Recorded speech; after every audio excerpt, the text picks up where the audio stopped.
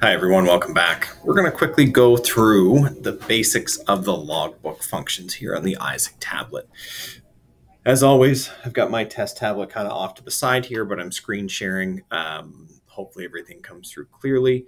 Uh, we'll get into it. So from my main dashboard, which is what this is, which is what you'll see typically when you're parked, uh, if I pop down to the logbook option here on the left-hand side, it'll bring up my logbook for the day.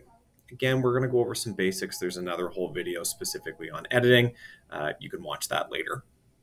So on the tablet, uh, generally speaking, you can see me, uh, William Easson. I'm the primary driver. I've got my Isaac 1 test truck, and I have hooked trailer T8. I am active on a trip. So if you're not active, you'll see no active trip up here. Currently, on my, I'm on my Canada south of 60, uh, 70, and 7 day cycle that would be the cycle we would expect uh, basically every driver to run. The 14120 is available as well, but typically offers fewer options for drivers. Um, as we move through this, you can see for today, I have 13 hours of driving time, 14 hours of shift, uh, and a full 70 hours in my cycle. That's because I've been off duty for the last couple days. Uh, shift reset, once you put yourself on duty, it will tell you when a shift or a cycle reset is required and then when your next scheduled day off is going to be. So for me, it's in 13 days because I've got my full 14 available, not including today. If I pop down here at the bottom, uh, one of the things that I would recommend, uh, although again, it is totally a personal preference, uh, I typically leave my sleeper berth provision turned on. Um, just tap the button to slide it over, and then you'll see the little SB option pops up here next to your 14 uh, hours of shift time that really is the basics of the main logbook screen. Uh, if you get pulled into a roadside, uh, which Jamie's going to talk about how to get into the roadside mode here in a few minutes in a different video, um, or if a compliance officer just wants to see it or you need to see it, you can tap on the header button at the bottom. The header really is the, I'll say the um, top section of the old log screen. This is where you could, if you needed to manually enter a document number or a shipping reference number uh, for your log, you can enter it here. Uh, if you're on an active workflow, the trip number shows up here. Driving distance, personal distance, start and total distance for the day, vehicles, license plate, equipment. Uh, let me just scroll up a little bit. So the carrier's home terminal for me, it's here in Kentville, 1505 Harrington. Um, the general stuff is there. If I hit my back button down here, it takes me back to my log screen or my graph screen, I should say. The next piece we're going to look at is the history tab. If I tap on history, we end up showing the last 14 days. Now I talk about it in the editing video. We'll talk a little more about it here. For each of the last 14 days, we can see a total number of off-duty, sleeper berth, driving, and on-duty hours. We can also see um, that it's signed. So big green check mark means it's been signed. Uh, no check mark, such as it is for today. Today is the 16th of September. Uh, I have not signed my log because my day is not over. If you've been off duty for several days, uh, you can hit this approve all button down here at the bottom. Uh, I talk about it in the log editing. Uh, again, I'll mention it here. The only downside to hitting the approve all is that it will approve all of your logs, including today. And then for the rest of the day, inevitably, you'll probably get warnings that you're making changes to a log that's already been signed. Personally, I recommend tapping on each of the individual days. Let's just say I needed to sign the 15th you can tap on that.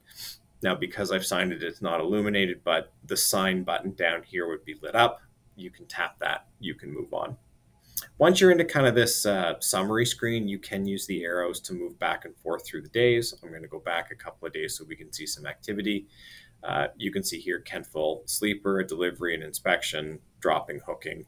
It was all done um, by me running a bunch of test scenarios through. When you're actually in your truck, your distance, your locations, all that sort of stuff will be filled in because it's receiving data from the, uh, the Wi-Fi router and your truck. If you need to edit, you can tap on this button. Again, there's a completely separate video that deals with logbook editing. You can watch that at a later time. If I tap my back button, it will take me back to my 14-day history screen. Again, I can improve all or not. I'll go back one more time. Uh, sorry, we'll go back into history for just one second. The other nice part about the Isaacs tablet is it does give you this recap hours function. So if I tap on recap, very slowly it brings it up.